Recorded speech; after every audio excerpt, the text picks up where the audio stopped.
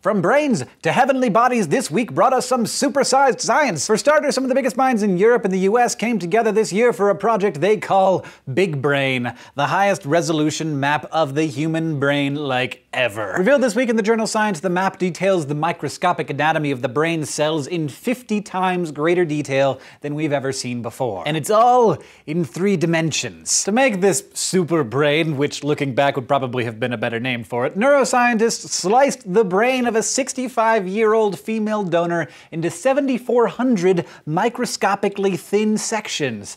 Then they stained, scanned, and reconstructed them digitally. This super detailed model will allow scientists to explore what they call the brain's cytoarchitecture, or the way its cells are organized and how that structure corresponds with the brain's wiring. To that end, they'll be comparing this anatomical map of the brain to the connectivity maps that we've told you about before, like those created by the Human Connectome Project. By combining these two atlases of human awesomeness, scientists will be able to further explore how brain structure relates to things like cognition, language, emotion, and neurological disorders. And maybe coolest of all, you can use your big brain to explore BigBrain for yourself. The mappers have made it available to the public for free on their super high resolution website. All you need is a login look for the links in the description below. And while you're online, once of course you're done watching this, you can explore another fascinating place in super high resolution, King Tut's tomb. Though he ruled for just 10 years in the 1300s BCE, we know Tutankhamun today because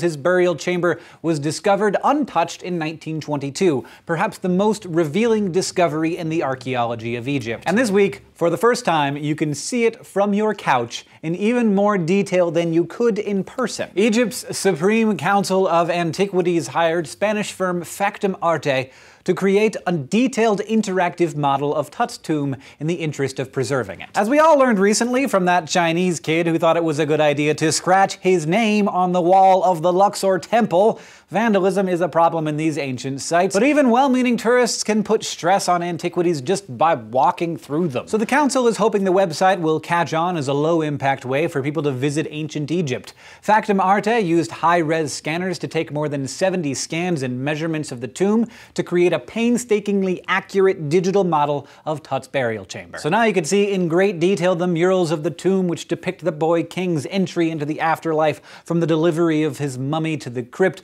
to the 12-hour journey his soul takes to the netherworld as overseen by a dozen baboons. Soon you'll also be able to explore Tut's sarcophagus online as well as the tombs of Seti I, who ruled Egypt in the 13th century BCE, and Nefertari, one of the most famous so-called royal wives who went out in style with one of Egypt's most extravagant burials. And finally tonight, you can see the moon in supersized detail as well. The internet is calling tonight's moon supermoon because it looks a lot bigger than usual, about 14% bigger. Supermoons occur when a full moon coincides with the perigee, that is the point at which the moon's orbit is closest to the Earth.